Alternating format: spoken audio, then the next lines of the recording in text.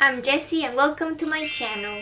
Today we're going to open this super mega jumbo and extra Posca box.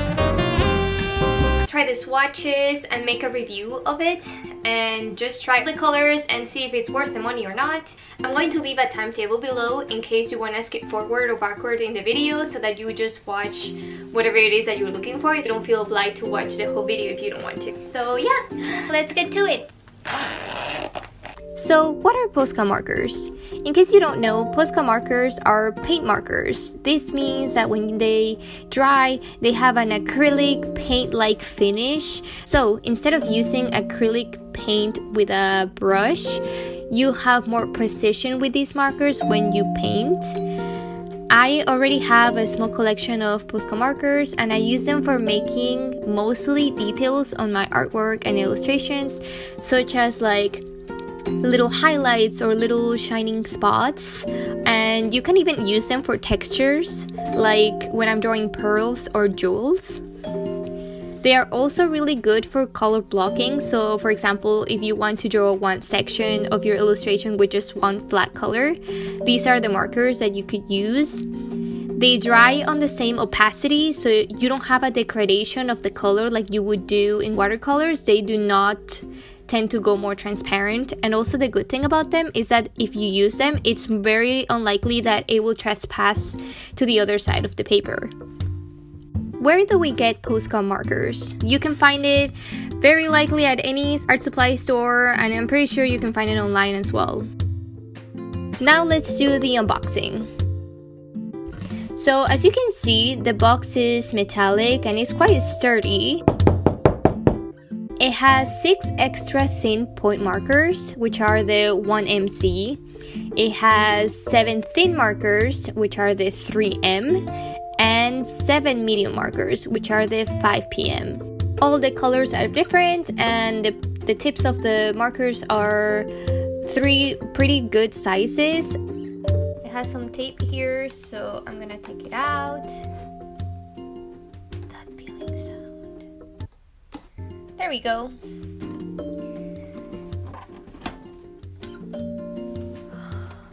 All the colors are amazing.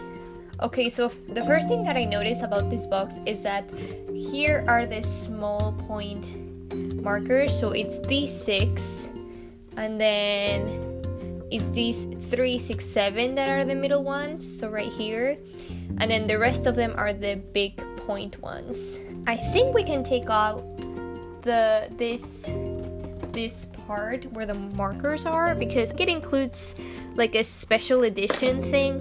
It includes this little pamphlets that feature an artist. The cool thing about these boxes in general are that there are like around four boxes. Each box features a different artist. One of them is an origami artist, it is a pattern artist, there's another one that is a street artist. I chose this one because it had these leopard patterns that I really like.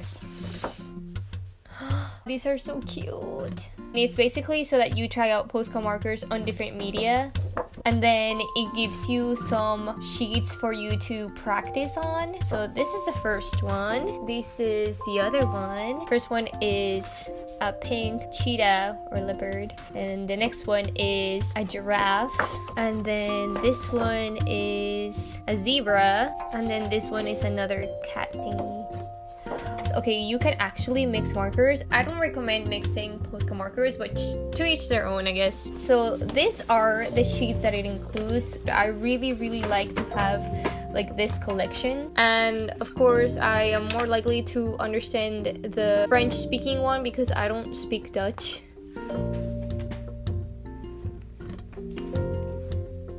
So this is the booklet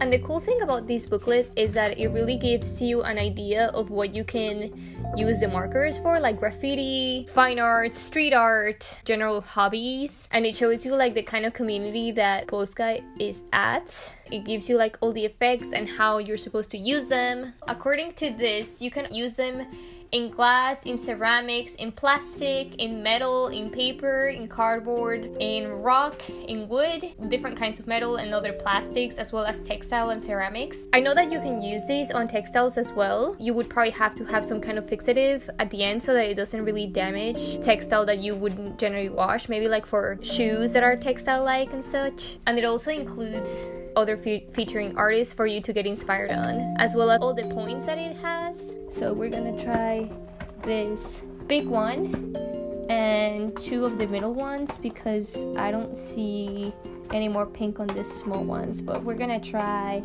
the purple. There we go. We're gonna try these these four.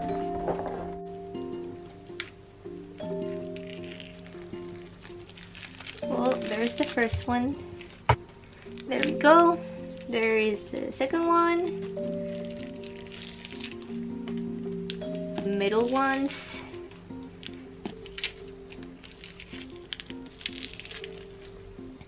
So there we go. We have all the colors now. This is very, very neon. Uh huh. Okay, you guys. There we go. That is our first color.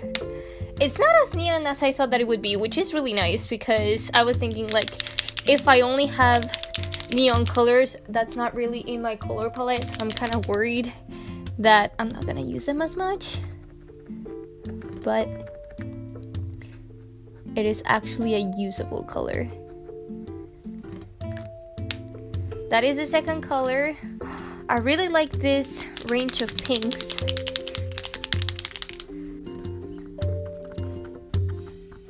Here is the third color. These pinks are so cute. They're very like usable pinks, you know. They're not just ugly pinks. That purple one. Can you guys see? Ah, you see how the color was popping out? Okay, here is the next one. What shall we draw? I'm gonna draw a little boot. So I'm gonna draw a pretty boot, like a cowgirl kind of boot. This one is really thick, but it's still like the marker is really thick, but it's still kind of easy to paint with. Like it's still easy to handle. Now we're gonna use the middle colors. I'm gonna draw a nail polish because I just did my nails today. Kind of ruined by now, but it is what it is. So this is a marker, a Posca marker that I already had. But it's just for the sake of making this illustration because I always paint with really fine black. Now we're gonna draw a couple of flowers. I really think that, that this is a good box to have as a gift if you want to give it to yourself or give it to somebody else because it has like a wide range of colors like the colors really do not disappoint so that is kind of nice. And i really like that the box is really sturdy because that way you can just keep all your markers organized into one single box. So as i said before i don't really recommend mixing colors with the Posca markers. That is my personal opinion. You can do whatever you want I would also really recommend if you end up buying this box for you to check into the other artist boxes just because there are different designs and the colors might vary slightly so just so that you are sure of which color box to buy.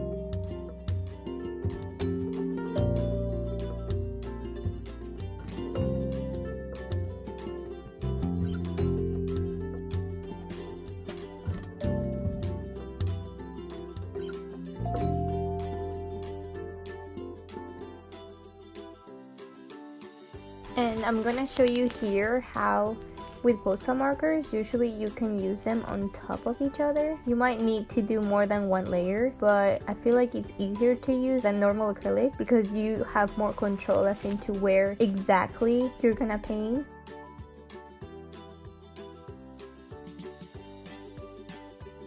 See what I did there? I used the same white on the paper to just hide it as if it was the actual paper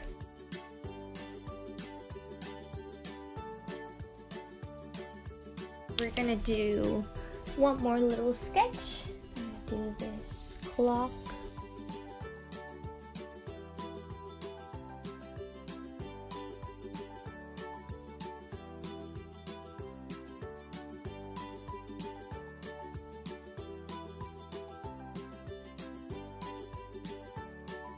And that's it. Thank you guys for watching this unboxing and review on Posca markers. If you liked it, feel free to subscribe to my channel for future art product reviews. And I will see you very very soon. Bye bye!